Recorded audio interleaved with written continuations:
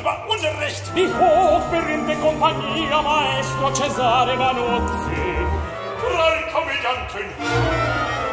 Sechs Komödianten.